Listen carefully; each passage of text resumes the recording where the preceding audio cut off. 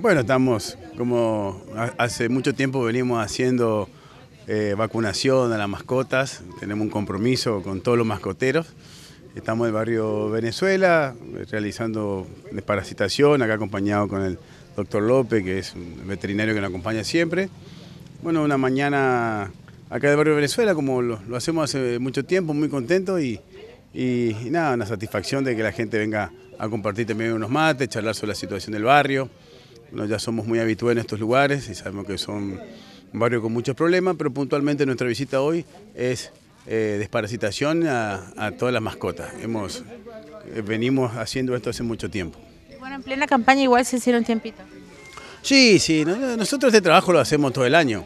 O sea, como me dice Olivera, viene otra vez usted y nosotros hemos estado mucho tiempo acá.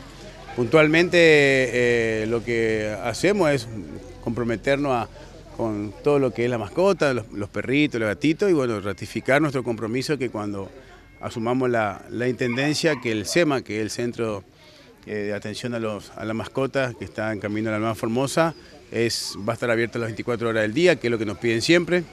Y bueno, y también hemos conseguido ya la donación de tres ambulancias que van a ser las encargadas de hacer trabajos de emergencia de mascotas.